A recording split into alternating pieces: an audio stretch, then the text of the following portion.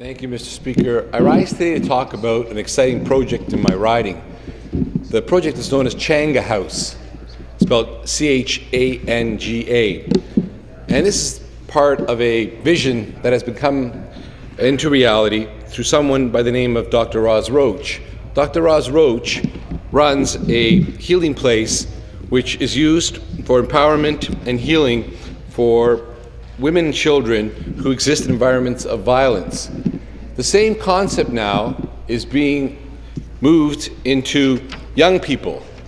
And the idea behind Changa House, which is being built uh, and is going to be started in the next little while, is to bring about uh, a place for young people and uh, for teenagers to be able to get past the violence and be able to get involved in programs and other things that are positive and move them away from if, uh, environments that they may be in.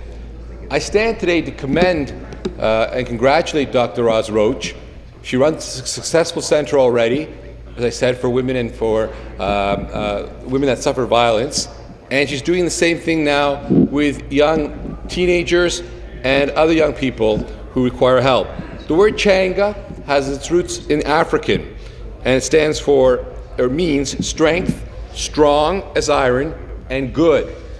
And it's my wish, desire, and hopefully that of all members of this House, that when Changa House finally opens its doors, it will be a place of strength and of good for all the people, all the young people that come in there.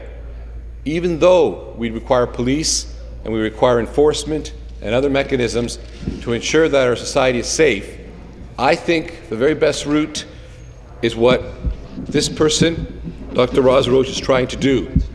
I commend her, and I look forward to its opening. Thank you, Mr. Speaker.